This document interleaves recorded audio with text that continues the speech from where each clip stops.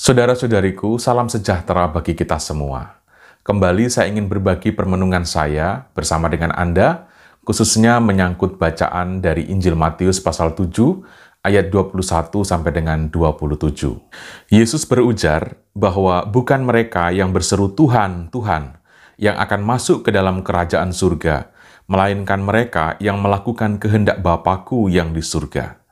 Demikian jelas artinya bagi kita bahwa Tuhan itu tidak bisa dikamuflase. Tuhan tidak bisa dipolitisir dengan retorika rohani. Tuhan tidak bisa dibujuk rayu dengan manis bibir dalam untayan sajak rohani. Yesus menyatakan bahwa orang yang mendengar dan melakukan sabda itu seumpama mereka yang mendirikan rumah di atas batu, walaupun ada bencana, walaupun ada tragedi, rumah itu tidak akan roboh. Mari kita mengevaluasi diri kita sendiri. Apakah kita adalah tipe orang yang mudah roboh? Jika ternyata demikian adanya kita, maka kita harus jujur mengatakan bahwa hidup rohani kita baru sebatas pada untayan sajak dan belum sungguh menjadi fondasi atau batu dasar bagi kehidupan. Artinya, selama ini kita masih mendasarkan hidup di atas diri kita sendiri dan bukan di atas sabda Allah.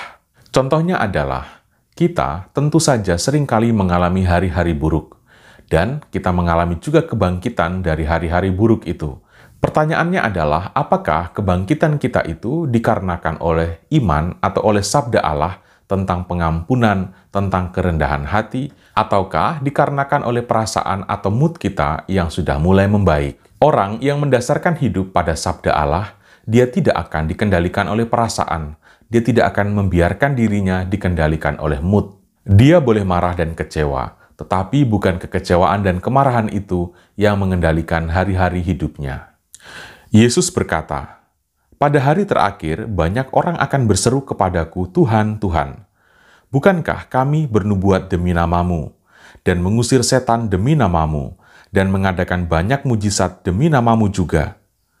Pada waktu itu, aku akan berterus terang kepada mereka dan berkata, Aku tidak pernah mengenal kamu, enyahlah daripadaku, kamu sekalian pembuat kejahatan. Bagi saya, sabda Yesus ini menjadi kritik yang begitu pedas untuk kita yang merasa dekat dengan Tuhan, untuk kita yang merasa paling tahu dan paling bisa melakukan hal-hal ajaib dalam nama Tuhan, membuat mujizat kesembuhan, bernubuat, berkhotbah yang berapi-api dan meraih begitu banyak peminat, mendirikan gerakan-gerakan kerohanian, dan menyedot begitu banyak umat. Mempopulerkan Yesus ternyata tidak jauh lebih berarti daripada mengusahakan hidup yang sungguh-sungguh dikendalikan oleh Allah sendiri.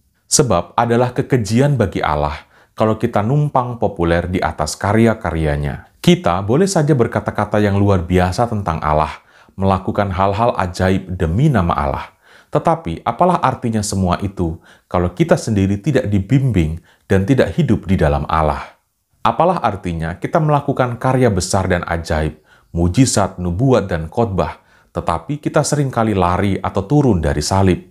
Apalah artinya kita melakukan karya-karya besar dan ajaib, mujizat, nubuat, khotbah-khotbah yang luar biasa, tetapi ketika kita diserang, ketika kita dikritik, dilawan, pandangan, teologi kita digugat, kita sudah bereaksi seperti orang yang tak beriman, seperti orang yang tak bertuhan, tidak rendah hati, tidak mengampuni, mempersalahkan, mengumpat, bahkan berusaha untuk menjatuhkan.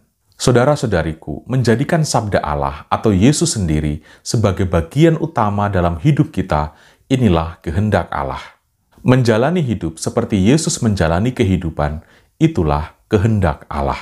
Kita tidak diminta untuk sekedar menjadi selebriti rohani yang terlihat suci, tetapi sebenarnya batin kita tidak bertuhan. Saudara-saudari, Tuhan memberkati kita semua.